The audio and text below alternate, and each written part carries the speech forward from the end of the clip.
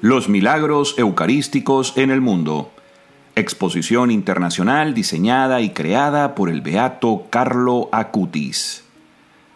Esta exposición de Carlo presenta una selección de los principales milagros eucarísticos que se han producido a lo largo de los siglos en distintos países del mundo y reconocidos por la Iglesia. En esta audio presentación veremos el milagro de Santarém, Portugal.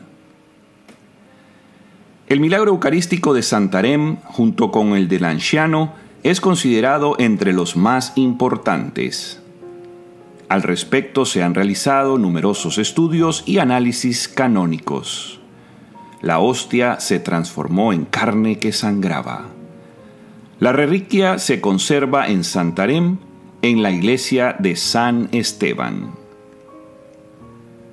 Los papas Pío IV, San Pío V, Pío VI, Gregorio XIV concedieron indulgencias plenarias a este milagro eucarístico. Aún hoy, en la iglesia de San Esteban, en Santarém, es posible admirar esta preciada reliquia. Según la fecha registrada en la copia del documento encargado por el rey Alfonso IV en 1346, el 16 de febrero de 1266, una joven mujer de Santarém, llena de celos hacia su marido, buscó una hechicera quien le sugirió ir a una iglesia para robar la hostia consagrada y hacer con ella un filtro de amor. La mujer robó la hostia y la escondió en un paño de lino que inmediatamente se manchó de sangre. Llena de terror, corrió hacia su casa y llegando abrió el pañuelo para ver qué cosa había sucedido. Vio con gran maravilla que la sangre brotaba de la hostia. En medio de la confusión, la mujer depositó la partícula en un cajón de su dormitorio. Pero durante la noche comenzaron a salir rayos de luz que iluminaban el cuarto como si fuera de día. Entonces el marido se dio cuenta del extraño fenómeno y comenzó a interrogar a la esposa hasta que ésta tuvo que narrarle todo. Al día siguiente, los dos esposos informaron al párroco, quien fue inmediatamente a la casa para recuperar la hostia y llevarla a la iglesia de San Esteban en medio de una procesión solemne, acompañado de muchos religiosos y laicos. La hostia sangró por tres días consecutivos. Luego fue colocada en un rico relicario de cera de abejas. En 1340 se verificó otro milagro.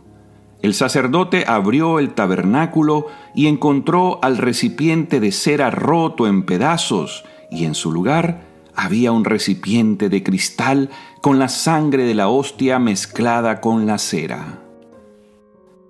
Actualmente la Sagrada Hostia se conserva en un trono eucarístico del siglo XVIII ubicado en la parte superior del altar mayor. La iglesia de San Esteban es hoy conocida como el Santuario del Santo Milagro. La hostia ha destilado sangre a lo largo de los siglos y en esas ocasiones han visto aparecer imágenes de nuestro Señor Jesucristo. Entre los testigos del prodigio se cuenta San Francisco Javier, apóstol de las Indias, quien visitó el santuario antes de embarcarse para las misiones. Desde que ocurrió el milagro se realiza todos los años, en el segundo domingo de abril, una procesión con la preciosa reliquia que recorre desde la casa de los esposos hasta la iglesia de San Esteban. La casa de los esposos se convirtió en capilla desde el año 1684. Bien, hemos concluido esta audio presentación. Estén pendientes de más presentaciones a través de este canal de YouTube y para ayudar a divulgar este excelente trabajo del Beato Carlo Acutis, por favor darle me gusta y compartirlo con sus familiares y amigos. Beato Carlo Acutis, ruega por nosotros.